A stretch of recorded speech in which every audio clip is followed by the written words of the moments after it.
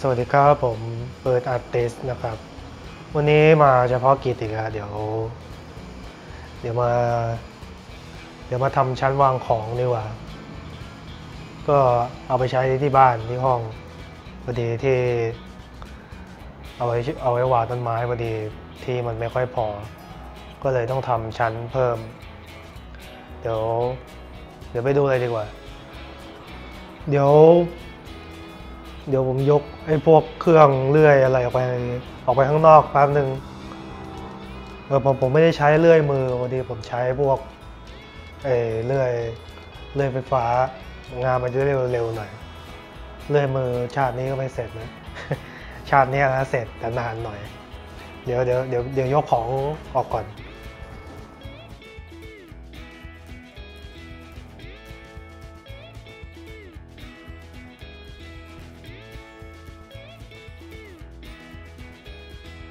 นะครับ อันนี้อันนี้เป็นเป็นไม้ที่ผมจะใช้วันนี้มาเวลาไปซื้อเขาเรียกว่าไม้เป็นจะพันมันจะมาเป็นมัดมัดมัดละสิบเส้น ก็มันจะเป็นไม้จอย ไม้จอยคือเขาจะมันเป็นไม้ไม้เหลือแล้วมาต่ออย่างเงี้ยเขาเรียกไม้จอย ก็เดี๋ยวมาวัดแล้วก็เริ่มทำกันเลยดีกว่า เดี๋ยวผมจะ ให้ดูไอ้แบบที่ผมออกแบบไปด้วยแล้วกัน ผมใช้ไอ้โปรแกรม SketchUp ตัวไอ้ Google SketchUp ใช้ในการออกแบบเพื่อว่ามันมันจะได้ง่ายขึ้น เดี๋ยวมาทำเลยดีกว่า ก็เดี๋ยวหาตลับเมตรกัน วัดวัดก่อนแล้วก็ค่อยตัด ความยาวของตัวไอ้ตัวชั้นเนี่ย ผมวัดจากที่บ้านประมาณ 70 เซน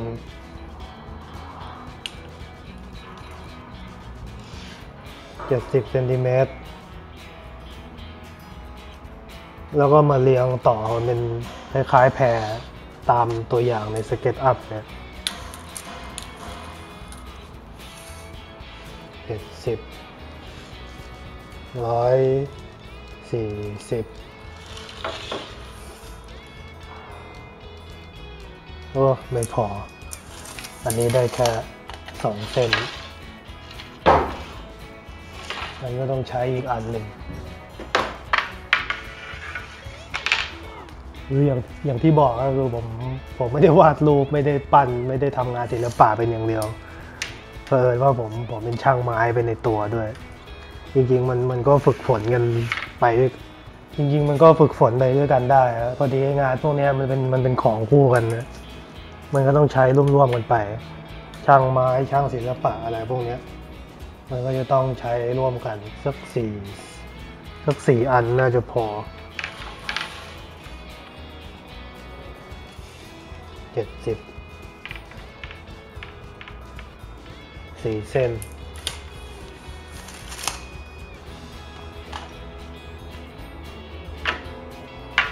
เดี๋ยวออกไปตัดเลยดีกว่า เดี๋ยวเรามาเริ่มทำกันเลยดีกว่า เดี๋ยวใส่เครื่องป้องกันก่อน เลื่อยไม่ได้ใช้นานแล้ว ไม่รู้แม่งพังหรือยัง ทำความสะอาดแป๊บนึง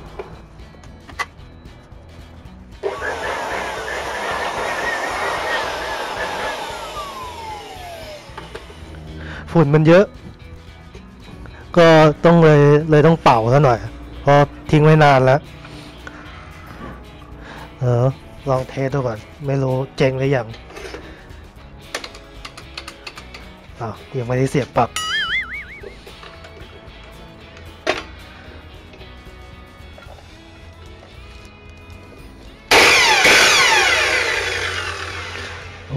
ยังใช้ได้อยู่ ยังไม่เจ๊ง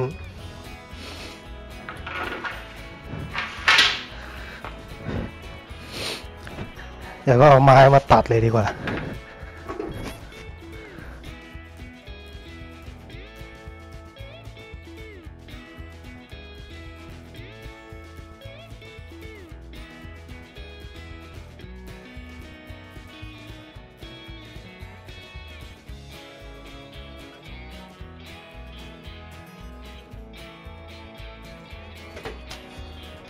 ทีนี้ได้แล้วครบเซต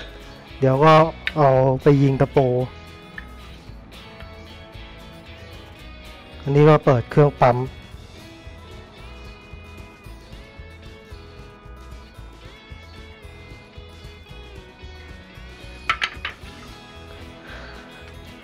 เดี๋ยวเปิดเครื่องปั๊มก่อน อันนี้เป็นปั๊มลม เสียงดังหน่อย ปั๊มลมรุ่นเก่าแล้ว ใช้ ทีนี้มาดูไอ้เครื่องไอ้ปืนยิงตะปูเลยดีกว่า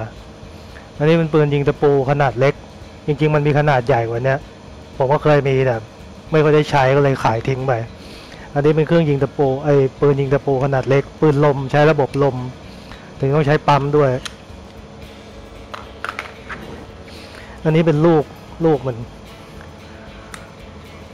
ดูดูดีๆ มันจะเป็นเนี่ยลูกลูกตะปูเล็กๆเล็กๆเล็กๆเล็กๆเล็กๆเนี้ย แล้วก็ใส่เข้าไปแล้วมันก็ยิง อันนี้เป็นขนาดที่ผมใช้ประจำมันเป็นขนาด 25 25มิลแล้วก็ขนาด 20มิลมันมีอีกขนาดหนึ่งคือ 15มิลเป็นขนาดที่ผมใช้ประจำแต่ตัว 15มิลนะแม่งแม่งหมดไปแล้วเดี๋ยวปั๊มเต็มแล้วเดี๋ยวเดี๋ยวยังไงมามายิงตะปูเลยดีกว่า ทีนี้ก่อนจะใช้เครื่องยิง ไอ้ปืนไอ้ปืนลมเนี่ยผมแนะนำให้ฉีดไอ้น้ำน้ำมันอเนกประสงค์พวกนี้เข้าไปที่รูมันก่อนฉีดเพื่ออะไรฉีดเพื่อให้เขาเรียกว่าอะไรวะฉีดเพื่อให้มันมันหล่อลื่นข้างในเนี้ยมันจะมีตัวลูกสูบอยู่ในเนี้ย ถ้าลูกสูบมันไม่ไม่ได้รับการหล่อลื่นมันก็จะเสื่อมเร็ว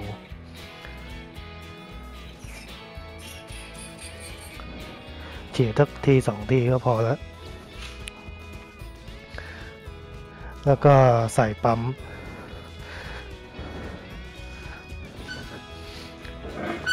ใส่จุ๊บปั๊มลงไป ใส่จุ๊บแล้วกด อันนี้ไม่มีลูกนะเสียงก็จะเป็นอย่างเงี้ย ก็ safe safe ไปหน่อยอะครับ ไม่ไม่เหมาะกับให้เด็กหรืออะไรพวกนี้อยู่ใกล้ๆว่ามันอันตราย เดี๋ยวใส่ลูกไป ใช้ลูกยาวสุดอะ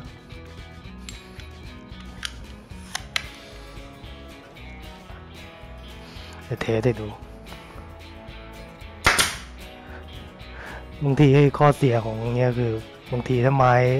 ไม้แข็งมากๆอะแม่งแม่งยิงไม่ค่อยเข้า แล้วก็ขึ้นอยู่กับปั๊มด้วย ยิงแรงไม่แรงก็อยู่ที่ปั๊มด้วยบางทีถ้าปั๊มอ่อนๆอย่างเงี้ยก็ เครื่องมันก็ยิงยิงไม่เข้าเหมือนกัน เดี๋ยวเดี๋ยวก็เริ่มอะไรดีกว่า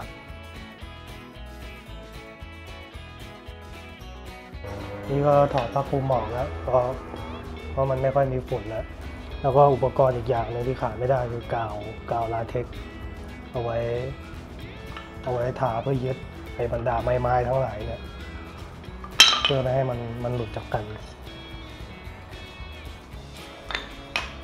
ผมเริ่มเลยดีกว่า ก็หยอดกาว กาวแล้วก็วางเตรียมยิง ยิงแม่งเลย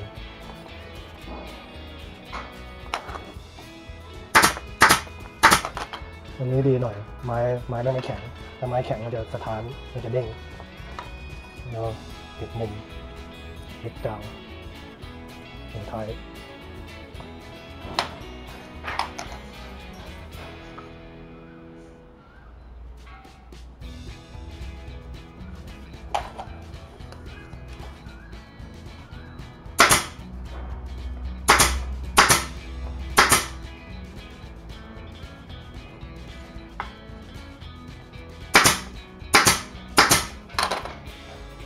ไอ้ตะปูยิงยิงลมนี่มันมันดีอยู่อย่างหนึงมันมันจะทำให้งานเร็วขึ้นเพราะถ้าเอาแบบค้อนตอกๆอะไรพวกนี้มันมันจะช้าบางทีเนี่ยยิงไปมันเจอไม้แข็งเนี่ยมันมันจะตะปูมันจะฝังลงไปไม่ไม่ไม่หมด ก็ต้องเอาค้อนมาตอกย้ำอีกทีหนึ่ง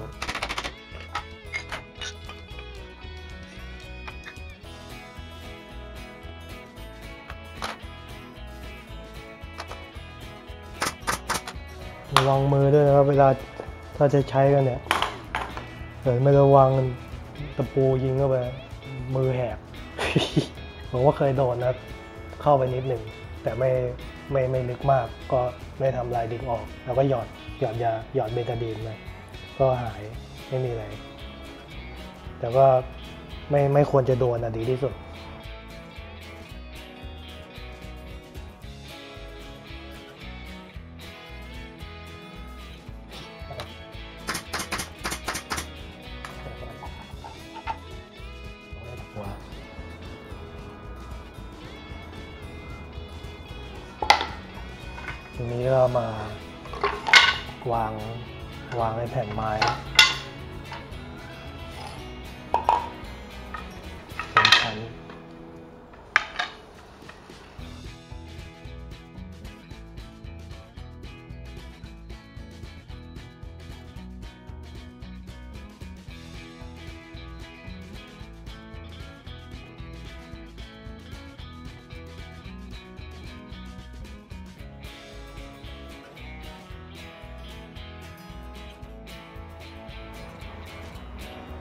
ตั้งใจจะให้ไอ้ช่วง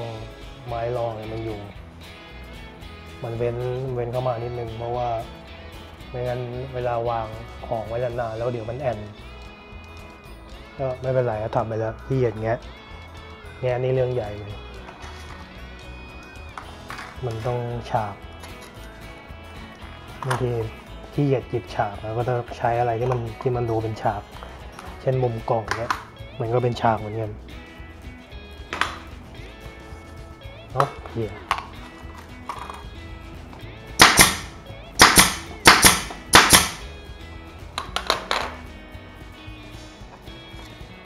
นี่ครับ พอเห็นเป็นรูปเป็นร่างอย่างนี้น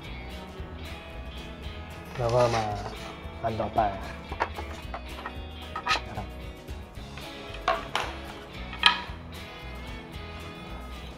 ห้าเก้า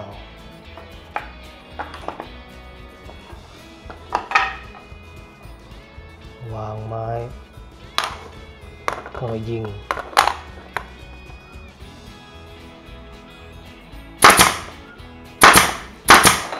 นี่ก็ดูดีๆบางทีจะเจอแบบนี้แหละ ไม้มันไม้แม่งแข็งแล้วแล้วยิงไม่เข้า หัวตะปูมันจะออกมาอย่างเงี้ยต้องมาตอกย้ำ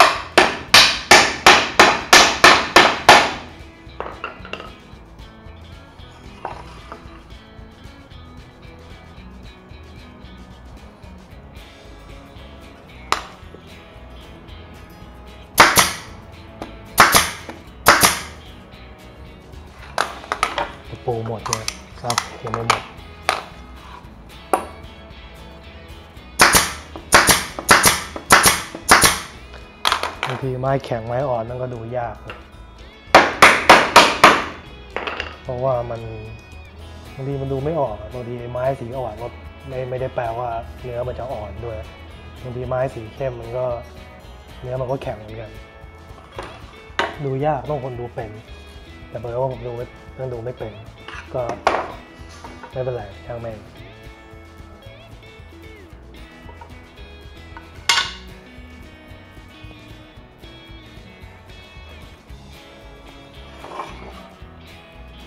ก็อย่าลืมหยอดกาวไว้ด้วยฮะกาวผมแนะนำว่าถ้าเป็นกาวลาเทก็ซื้อกระปุกซอสอย่างเงี้ยมาใส่เวลาใช้มันจะได้บีบง่าย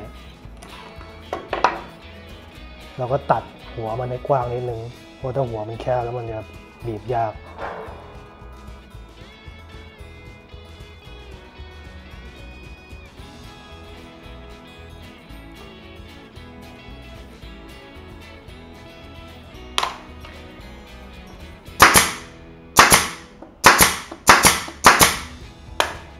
เนี่ยครับแม่ง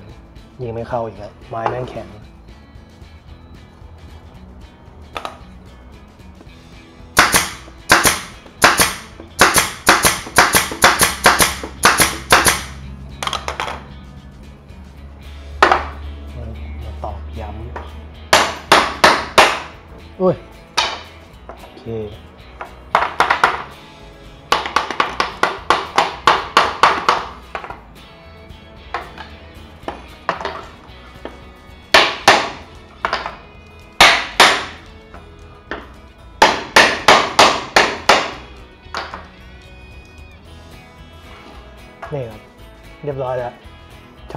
ของเสร็จแล้ว ก็ไม่ค่อยสวยเท่าไหร่ พอถูถ่ายเอาไว้ใช้ได้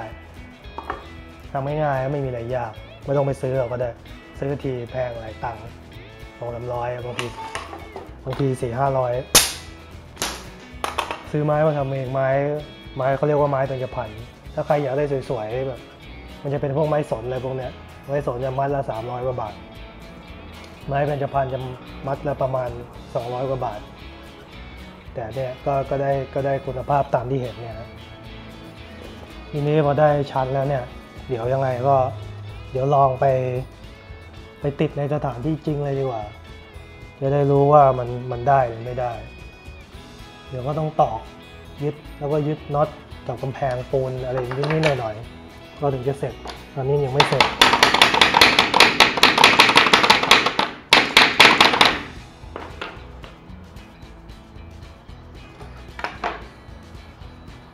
ผมต้องคิดต้องตกแต่งนิดนึง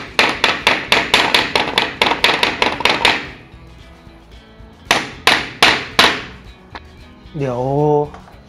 ต้องมาเจาะไอตัวไอทียึดเพิ่ม ไว้สันไว้ขันน็อตเดี๋ยวเจาะ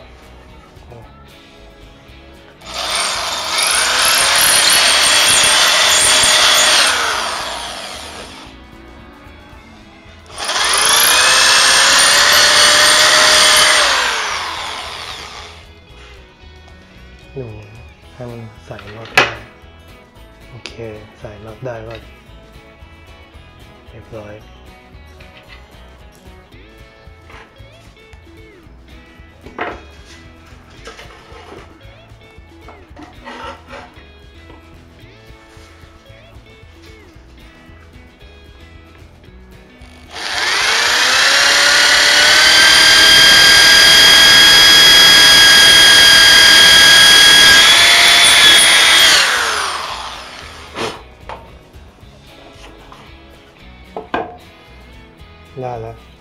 ที่ยึดน็อตสี่ตัวสี่รูสี่ด้าน เดี๋ยวไปติดตั้งจริงเลยดีกว่า ก็น่าจะได้อยู่หรอกดูแล้วคงไม่มีปัญหาอะไรแข็งแรงอยู่อ่าครับตรงนี้คือจุดที่จะเอาชั้นมาวางอะนะเพื่อที่จะวางไว้เป็นวางกระถางต้นไม้ เดี๋ยวเดี๋ยวเดี๋ยวเดี๋ยวลองลองมาทาบก่อน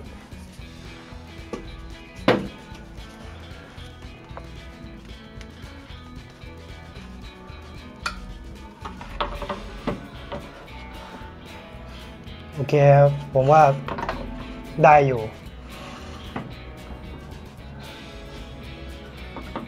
เหลือแหล่พื้นที่ มันจะมีพื้นที่ของไอ้ตัวเออไอผนังกั้นอยู่ด้วย ประมาณสิบเซนได้ได้ได้อยู่ เดี๋ยวเดี๋ยวเดี๋ยวเดี๋ยวเอาเลยเริ่มเลยดีกว่า เดี๋ยวเต็กเต็กรูก่อน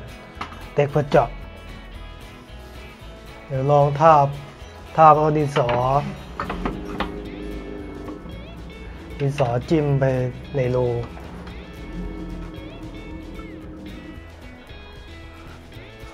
พอดีที่มันแคบ มันก็เลยทำ ลำบาก นิดนึง ก็ไม่นิดนึงอะลำบากพอสมควร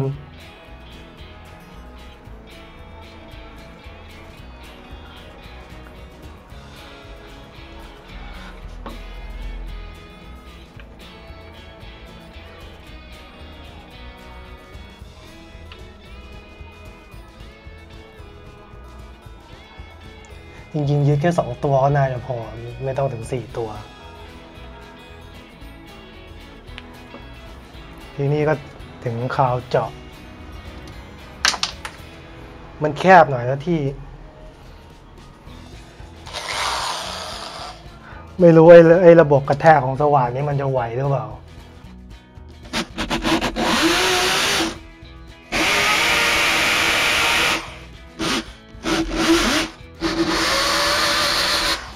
ผมว่า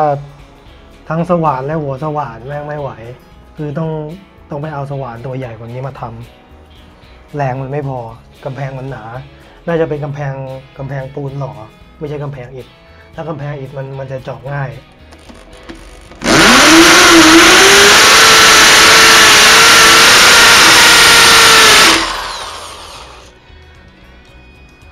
เออกดกดไปตั้งเยอะแล้วเนี่ย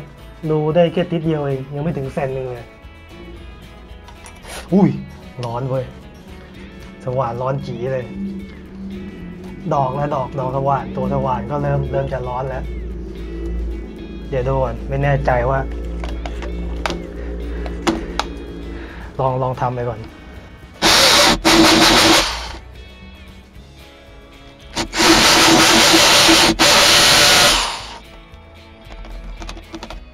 เดี๋ยวมันเจาะอีกรูรูนี้ก็น่าจะพอแล้ว เพราะสว่านมันไม่ไหว สว่านมันเล็กเกิน ที่แคบทำงานลำบากทำใจรับสภาพ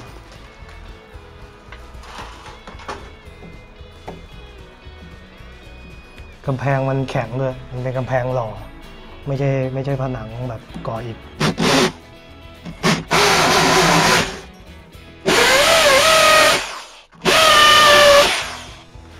ทีนี้ก็เดี๋ยวจะมาติดตั้งกันแล้ว อันที่เป็นพวกพลาสติก อันนี้ไม่ได้ซื้อแยก มันมันใช้กับ อะไรก็ไม่รู้ อยู่ในซองชั้นวางทีวีพกพลาสติกไว้ใส่กำแพง ก็ใส่เลยดีกว่า โอ้ยพอดีเลยเว้ยแต่น็อตอันนี้ใช้ไม่ได้มันสั้นไปต้องเอาน็อตของเรามาแทน เออเดี๋ยวลองลองใส่ดู ได้อยู่หรอก ไม่มีปัญหา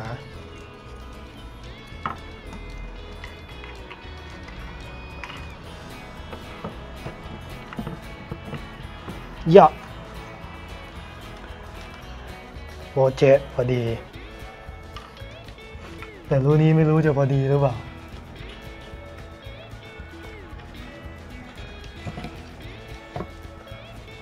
โอเค ได้เรียบร้อย เดี๋ยวก็ขันขันน็อตไอตัวขันต้องใช้แบบนี้ เพราะที่มันแคบ ถ้าน็อตถ้าขันแบบนี้มันมันจะไม่ได้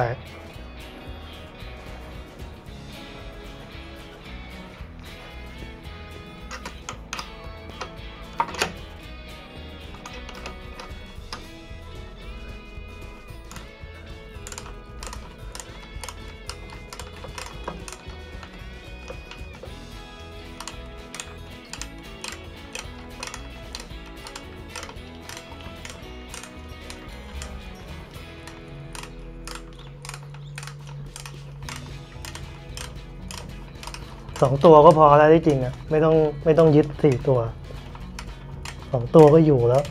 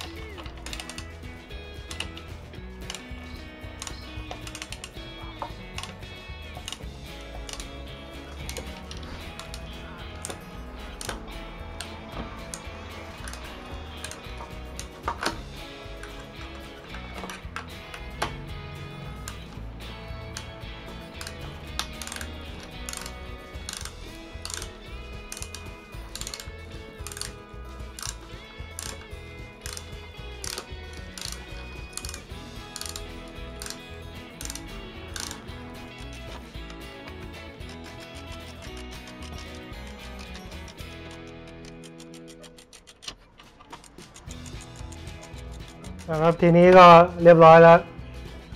เสร็จสักที ก็วางต้นไม้ได้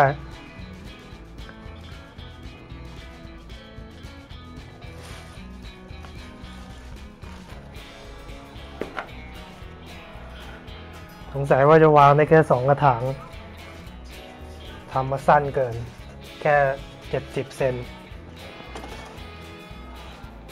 เนอะสามกระถางวะ